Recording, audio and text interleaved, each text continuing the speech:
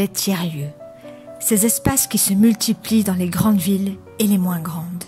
Des entre-lieux, ni la maison, ni le travail. Ils ne datent pas d'hier et ils continuent à évoluer aujourd'hui.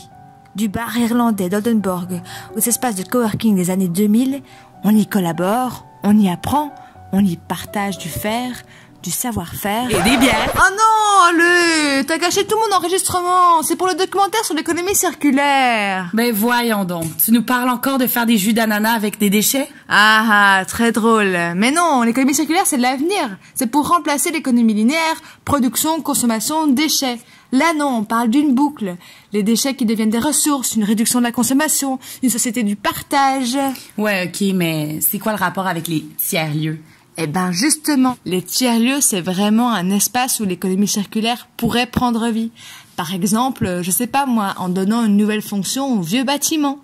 Ah, euh, comme euh, bâtiment 7 Le bâtiment 7, euh, je sais pas c'est quoi le bâtiment 7 Ah, ben c'est dans un vieux quartier de Montréal. En fait, les habitants ont dû faire des pieds et des mains pour préserver un bâtiment qui est devenu vraiment emblé- emblématique puis qui allait être détruit pour euh, être remplacé par euh, des nouveaux logements. Eh ben exact. Donc là, ce sera un projet qui a justement évité de créer du déchet, qui a valorisé un peu un, un gisement urbain déjà existant. Donc pour moi, euh, oui, c'est une première étape vers la circularité, du moins euh, concernant le territoire.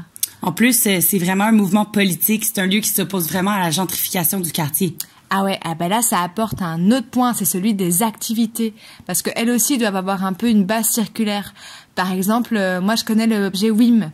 Euh, eux, leur objectif, c'est de réutiliser le déchet bois local, les palettes, les vieux meubles, tout ça pour éviter que ça finisse à la déchetterie. Donc, ils vont construire des choses avec. Et eux, en plus, ils ont vraiment une volonté de travailler avec la communauté, parce que ce genre de- d'espace, c'est les gens qui font vivre la vision du projet. Ah, ça me fait penser à euh, Eric de Compost 13 que j'ai rencontré à Paris. En fait, euh, il a développé un système de compost de quartier. Puis pour lui, la communauté, c'est vraiment super important. Ils ont 200 bénévoles qui donnent tout le temps un coup de main. Ils peuvent compter sur plein de compétences différentes.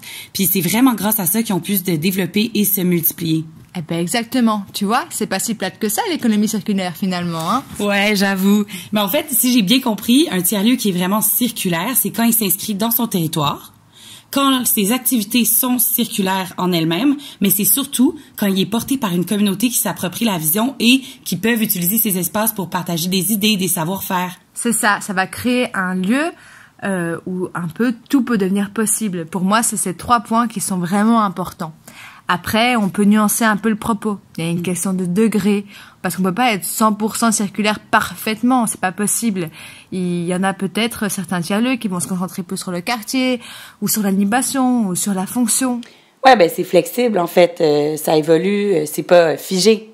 Ouais, c'est ça, c'est c'est exactement... Mince, mais t'as vu l'heure qu'il est? Attends, faut vraiment que je m'y remette là, il faut que je t'amène ce documentaire pour ce soir. Ah mais... Ah mince, ça a tout enregistré. Ah ben parfait, il est fait ton documentaire alors. On peut-tu aller prendre une bière? Y a pas, y a pas un tiers-lieu au coin de la rue? Ouais, ouais, on devrait en trouver un, c'est bon, viens, on y va.